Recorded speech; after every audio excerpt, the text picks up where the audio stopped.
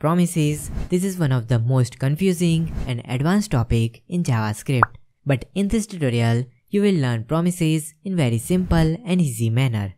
Hello friends, welcome back to this channel. If you are new here, my name is Meet.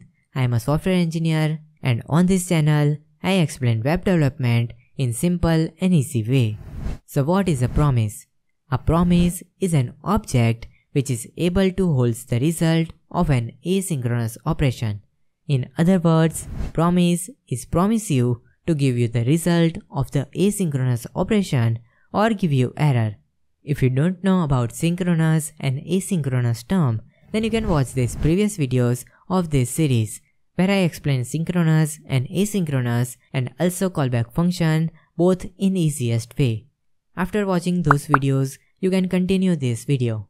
Now let me explain you promise with the example. First, we create promise and then we will see how we can consume that promise. It is really simple. So to create promise, we write new keyword and then promise. Now this promise is a class and it takes an argument which is function with two parameters. So here first parameter is resolve and second parameter is reject and arrow function. Now inside this function, we write our asynchronous code. Here again we are assuming we are getting data from database. So we write here set timeout and pass function, sorry, callback function and 3000 milliseconds. Now imagine here we get our data from database. So I create one variable called student equals to object let's say id to 1 and name to Harley. Now we write here resolve function because we successfully get the data and we pass here this student.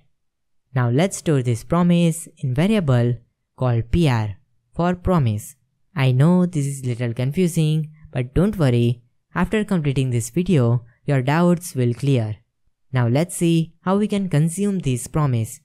So we write pr which is this variable dot and here we have two main methods then and catch.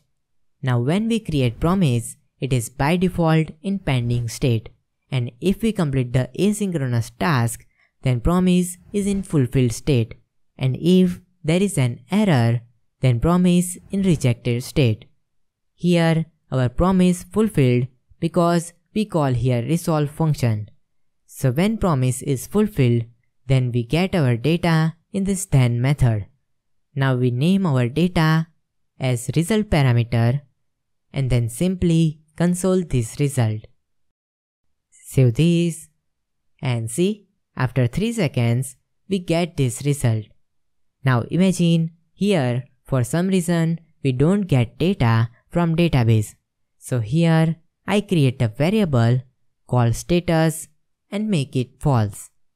And here we add condition if status is true, then we run this resolve function. Else we simply call here reject function. Now for better practice, every time we want to return error, we create a new error and pass our error message here. Save the changes and refresh the page. See, we get this error here. Now let's consume this error same as we get data in then method.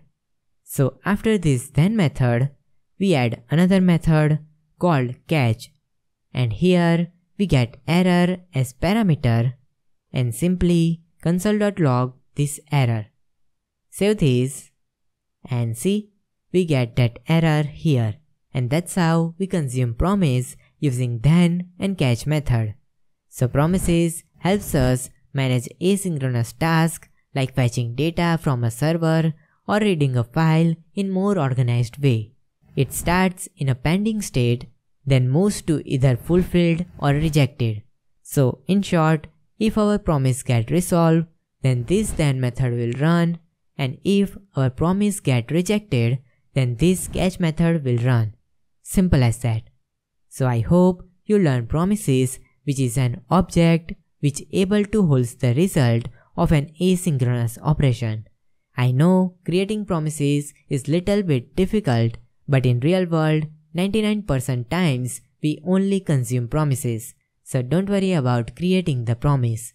And also, currently I am working on the ultimate Node.js course in which you will learn Node.js from scratch to advanced level in very easy to explain language and with real world projects. So in the description box, I added one Google form link. Enter your email and first 1000 students will get this course completely free for lifetime. So quickly register, link is down in the description box and I will see you in the next video.